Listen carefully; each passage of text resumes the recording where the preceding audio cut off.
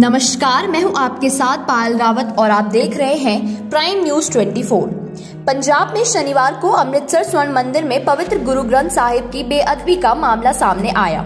जब रहराज साहिब का पाठ किया जा रहा था, एक व्यक्ति सचखंड के अंदर माथा टेकने वाले स्थान पर लगे पीतल के जंगले को फांद कर श्री गुरु ग्रंथ साहिब के नज़दीक पहुँच गया और कथित तौर पर गुरु ग्रंथ साहिब जी के सामने रखी तलवार को पकड़ने की कोशिश की।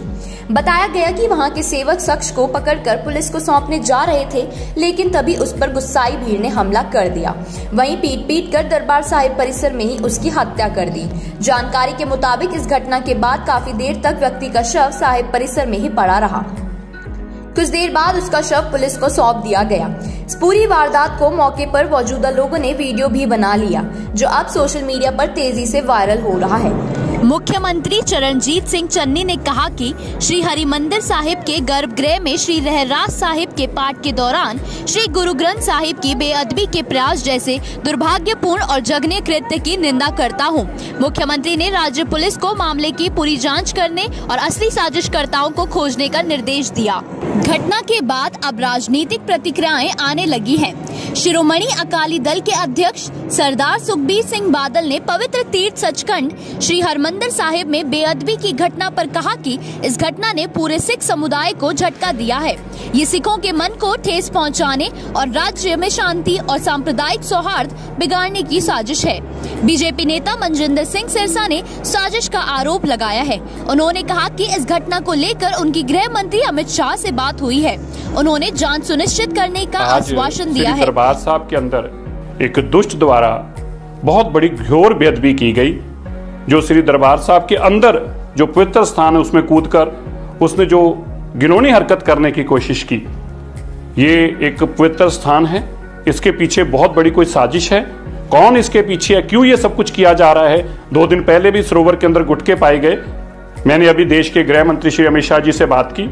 उन्होंने भी जहाँ इसकी चिंता प्रगटाई, दुख किया, दुख जताया इसके ऊपर। उसके ऊपर उन्होंने यह भी इंश्योर किया कि जो भी इस पड़ताल के लिए हमारी सरकार की तरफ़ से ज़रूरत होगी, जिस तरह की श्रोमणी कमेटी को हमारे साथ की ज़रूरत होगी, हम हर तरीके से इसके साथ खड़े हैं और ऐसे लोगों को बेनकाब किया जाए, ये आज देश के लिए ज़रूरी है।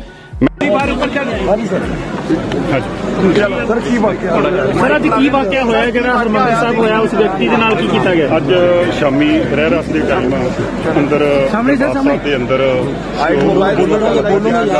ਜੰਗਲੇ ਦੇ ਨਾਲ ਨਾ ਤੇ ਇੱਕ ਲੜਕਾ ਜਿਹੜਾ ਉਹਨੇ ਸੱਕੇ ਦਾ ਪਤਾ ਹੋਇਆ। ਔਰ ਉਹ ਜੰਗਲਾ ਟੱਪ ਕੇ ਉਹਦੇ ਅੰਦਰ ਚਲ ਗਿਆ।